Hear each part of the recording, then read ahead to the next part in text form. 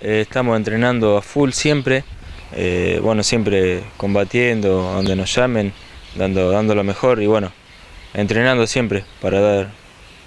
Recordarle a la gente en qué categoría estás. Y eh, estamos peleando super welter, mediano, eh, según la, la pelea que salga la, la vemos cómo podemos arreglar y la hacemos, pero entre esa categoría de super welter y mediano. ¿Estas categorías cambian por edad o por, el, por los kilos? ¿Cómo es? No, no, esto es por kilaje. Eh, es por, el- por los kilos, la edad no, no importa. Más o menos una diferencia media parecida en peleas, pero eh, es por peso. Super welter es hasta 70 kilos, mediano hasta 72, o sea, está ahí nomás esa categoría. Y creo que es la más brava de todas. Y has ido avanzando, ¿no? Porque cuando empezaste, ¿cuántos años tenés ahora? ¿Cuánto tenías cuando empezaste? Y mira, yo empecé cuando tenía 15 años. Empecé cuando tenía 15 años y ahora tengo 23. Eh, o sea que un largo camino, muy lindo camino que, que, que fui creciendo junto con el, con el deporte, que eso es muy lindo. Siempre yo, yo resalto eso, que gracias a Dios me metí en el, en el deporte desde chiquito y eso, eso me dio una mentalidad diferente. Y eh, me enfoqué más en el deporte y no en, en salida, trasnochada y todas esas cosas. Entonces eso es muy bueno, es muy bueno que, el- que los chicos de, desde muy de temprana edad se metan en el deporte porque eso les ayuda mucho. Y por ejemplo, eh, has tenido dura- durante todos estos años que, que cuidarte a nivel de regímenes, ponerle de comidas o hacer gimnasia. Sí, sí, yo le vengo dando duro desde que empecé, me lo puse en la cabeza de, de dar, de dar un- una, linda, una, una linda rutina diaria. Eh, siempre me entrené de la mejor manera, bueno, por ahí a veces con el tema del trabajo y todo eso no, no se puede, pero eh, hoy en día estoy haciendo dos turnos por día, además del trabajo que hago, que trabajo ya en la planta de reciclado. Eh, pero salgo de ahí y bueno, me enfoco hoy más que nunca porque soy profesional. Eh, hice una linda carrera de amateur y bueno, pasamos a profesional y ahora estamos probándonos acá. Eh, ¿Tenés a alguien que te guía, digamos, que te entrena? Sí, tengo, tengo bueno, mi entrenador de boxeo actualmente es Sergio Liendo.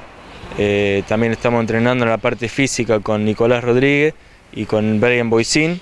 Eh, estamos entrenando muy bien físicamente. Y, bueno, ellos son con quienes estoy preparándome. Y bueno, ahora eh, le implementé también ir a Junín una vez por semana o dos a guantear con los profesionales allá para ir fogueándome más todavía.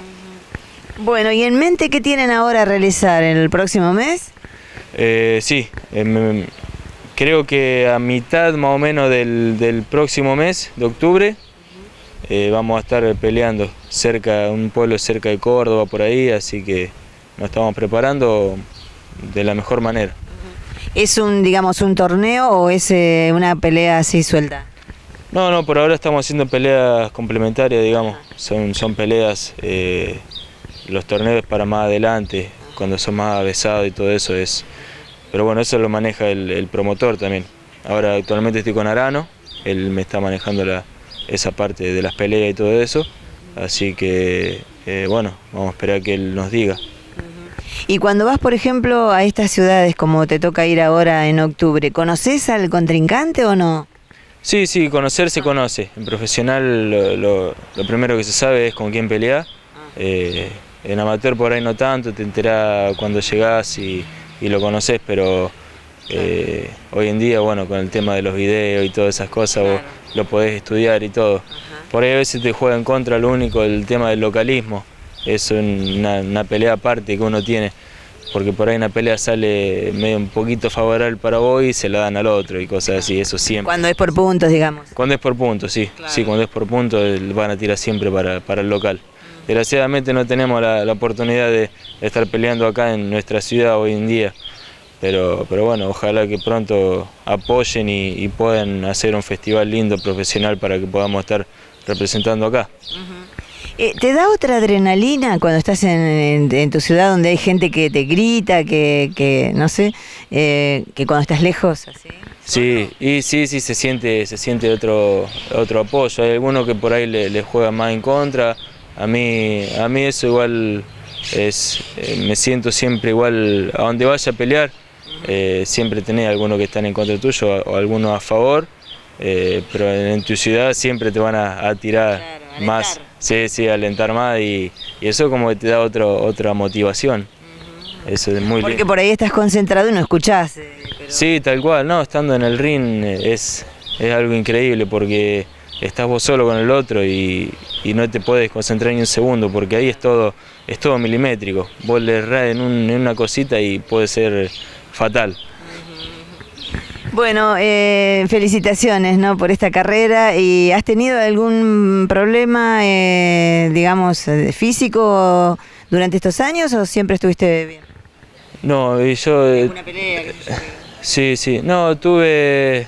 Lo único grave fue una lesión en el vaso sanguíneo que tuve operado, tuve casi un año en activo, pero bueno, después algún, algún alguna cosa normal que tienen los deportistas. Leve. Sí, sí, pero después no, nos recuperamos rápido, una o dos semanas, de, pero nos recuperamos y le metemos siempre a full.